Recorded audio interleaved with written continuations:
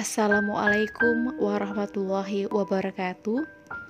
Jumpa kembali dengan mata kuliah Administrasi Sumber Daya Manusia.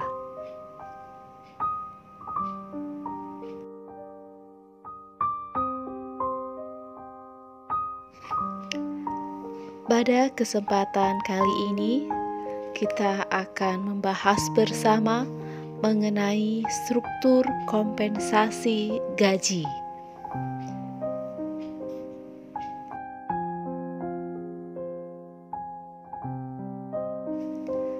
Definisi UMK atau UMR UMK singkatan dari upah minimum kota atau kabupaten merupakan upah bulanan terendah yang terdiri atas upah pokok dan tunjangan tetap.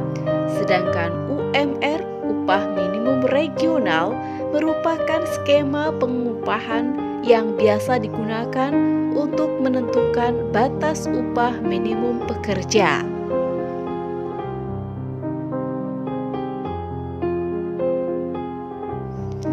Faktor pertimbangan penetapan UMK Faktor-faktor itu disebut sebagai kebutuhan hidup layak atau KHL. Hal-hal yang termasuk dalam KHL terdiri atas berbagai komponen di antaranya kebutuhan pangan, sandang, perumahan, pendidikan, kesehatan, transportasi, rekreasi, dan tabungan.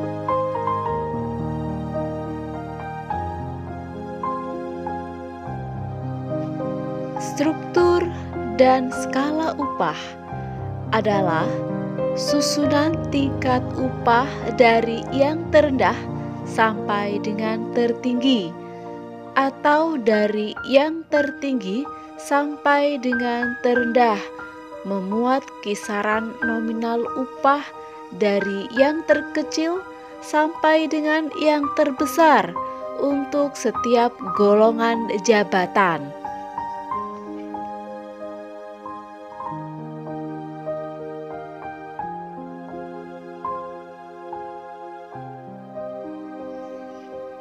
Dalam penyusunan struktur dan skala upah, terdapat beberapa tahapan, di antaranya analisa jabatan, evaluasi jabatan, penentuan struktur skala upah, pemberitahuan struktur skala upah, dan peninjauan struktur skala upah.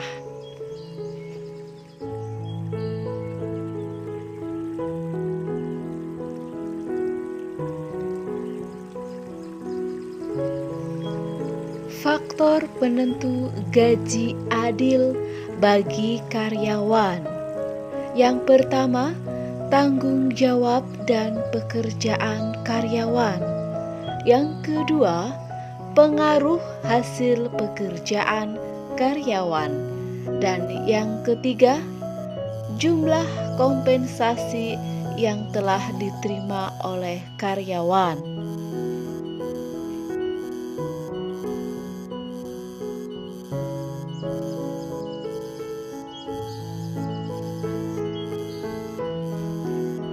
Berikutnya, kita akan membahas mengenai definisi slip gaji. Merupakan dokumen resmi yang memuat informasi jumlah pendapatan atau gaji yang karyawan terima serta potongan pajak atas pendapatan tersebut.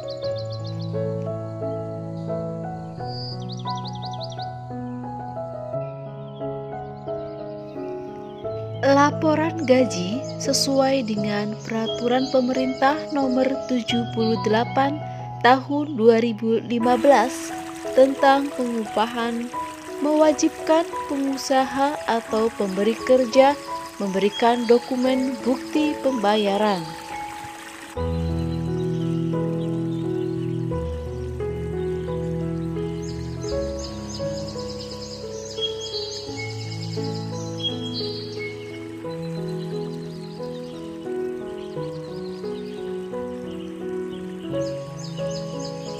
Laporan gaji karyawan atau yang sering juga kita sebut dengan istilah slip gaji merupakan bukti otentik dan informasi resmi pembayaran gaji dari pemberi kerja kepada karyawan.